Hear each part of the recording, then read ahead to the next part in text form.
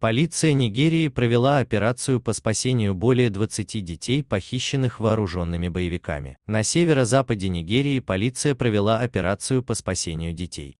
Их похитили вооруженные боевики. Об этом сообщает РБК Украина со ссылкой на Синьхуа.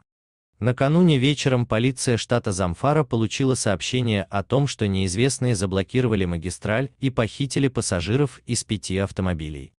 Как отмечается, полицейские, прибывшие на место происшествия, вступили в ожесточенную перестрелку с боевиками. Им удалось отбить у преступников 21 ребенка. Дети направлялись в школу в соседнем штате Кацина.